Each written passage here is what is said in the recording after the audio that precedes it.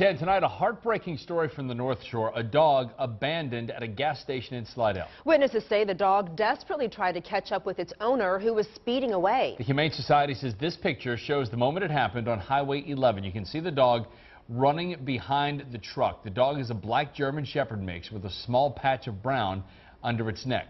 The Humane Society is offering a $250 reward for information leading to the arrest and conviction of the owner or the safe return of the dog. Jeff Dorson with the Humane Society released the statement saying in part, quote, unfortunately, we routinely receive these types of reports where dogs are dumped from a car or truck and left to fend for themselves along highways or backcountry roads. The Humane Society is also asking for volunteers to canvass the area where the dog was last seen and to call its office if the dog is recovered at 888-6-HUMANE.